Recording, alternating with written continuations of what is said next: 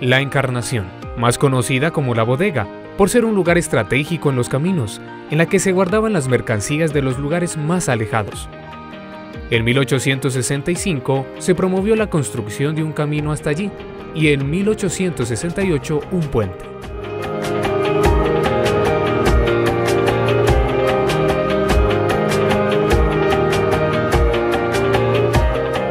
En 1970 ya había parroquia, también había llegado un sacerdote después de 43 años un pequeño acueducto y cuatro aulas escolares.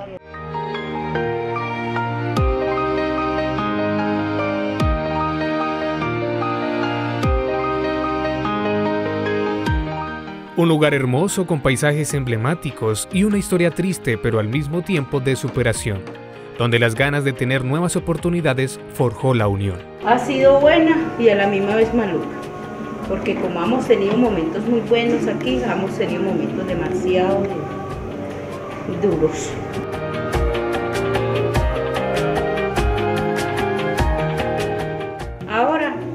Tiene la gente como muchas ganas de trabajar, de salir adelante, tienen mucha ilusión. En la actualidad todos esos odios, dolores y rencores se han superado, desean un nuevo corregimiento vivir y disfrutar de la riqueza natural de este como lo hacían antes.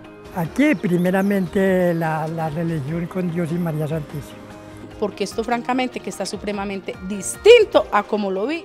La amabilidad de su gente, lo acogedor del lugar, su naturaleza y esas tierras fértiles que presencia la encarnación hace que sus habitantes disfruten del lugar y no lo quieran volver a abandonar. Ya yo me fui, volví y aquí realmente pues ha venido mucha gente después de eso sí, y han hecho muchas casas porque realmente pues no las casas hay casitas aquí que no las había se entregaron a Dios para llenar todo el lugar de amor y fraternidad como ahora lo viven los niños, que disfrutan de la mejor etapa. Esto ha cambiado mucho, ya la gente ha, principiado como a confiar en la encarnación, ven las cosas mejores, eh, el ambiente más, mucho más mejor, la gente por, el momento ya vienen a pescar como era antiguamente que venían a hacer sus, sus, eh, pescas a, los ríos, a acampar. Las cosas están mejorando mucho. Una masacre que quedó en las mentes y corazones de quienes la vivieron. Perder seres queridos, vecinos, personas que conocían de toda la vida.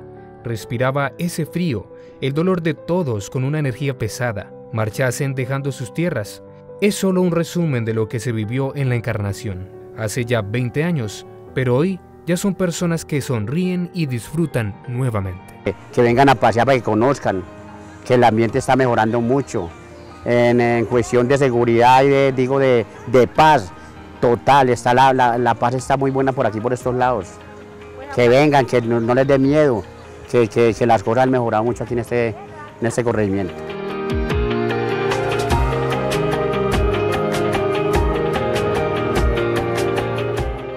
y que vengan a mirar las cosas bonitas que tiene la encarnación.